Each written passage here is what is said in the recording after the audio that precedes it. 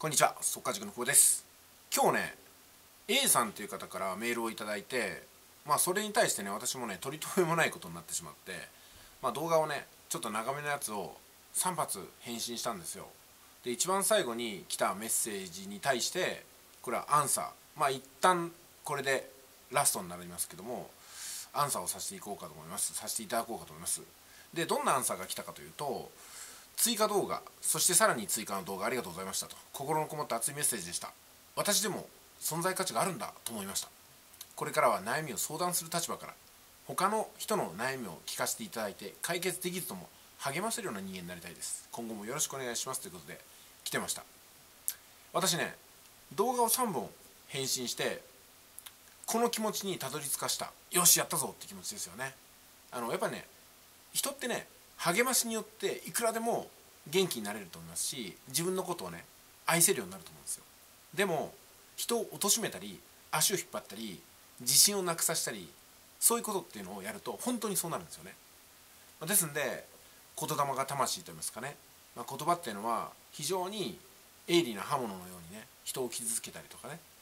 優しい綿のように人を包んであげたりとかするものだと思います。だからできれば私は温かい言葉をかけていきたいなと思うんですよ。でもちろんね私も美しい言葉ばかりを使ってきたわけではないんですよ。どちらかというと人生の前半初期の頃そうですね思春期の頃は汚い言葉に憧れてあえてそれを使っていこうとしたかもしれません。でもだからこそよくわかるんですけども確かに人を威嚇すればね威嚇されるんですよ。最近の言葉で言ったらマウントですか？これはね大体言葉によってはったりによって行われます。で本当にねあの人を傷つけようとしたり人の自信をなくそうとすればいろんな言葉が湧いてくるんですよ。いわゆるそれを最近では論破って言いますよね。気持ちの悪い言葉ですよね。自分の方が正しいんですよと。あなたの主張が間違ってますよこれを論破と言って喜んでる人がいる。それを見て楽しんでる人がいる。それを切り取っていろんな動画を作ってる人がいる。何とも浅ましい話じゃないですか。違う意見があってもいいと。勘違いした人がいてもいい。さまざまな関わり合いとか言葉や思考の中で自分は育てられてるんだっていう気持ちがあればいいのかなと思うんですよ。でまさに今回ねこの言葉によって私もそうですけども多分 A さんも育てられたんじゃないかなと思います。もちろんこれが持続するかどうか分かりません。今日だけのことかもしれません。でも今日だけでもいいじゃないですか。だって私たちは今日生きてるんですよ。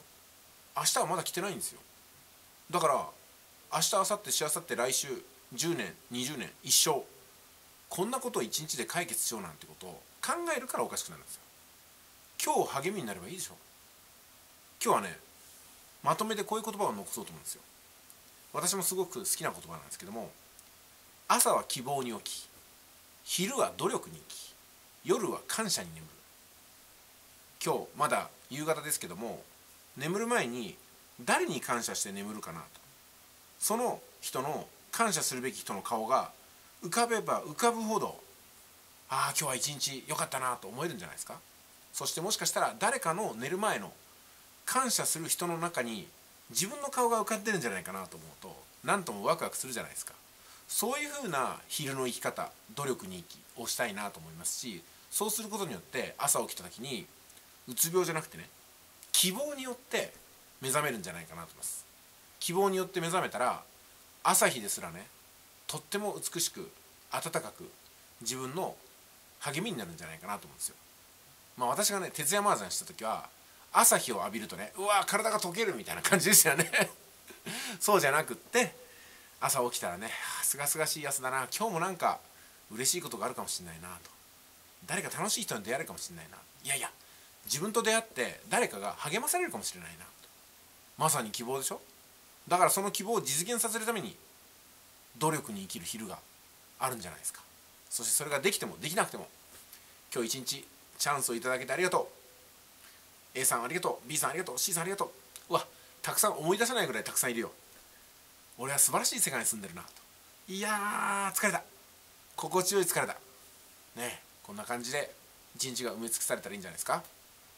ということで一旦ねここで4回連続でお送りした動画 A さんへのメッセージ終わります。最後に追加ですけども動画概要欄に A さんの作った Twitter アカウントがありますので Twitter されてる方はぜひねフォローしてください。そしてメッセージを送ってみてください。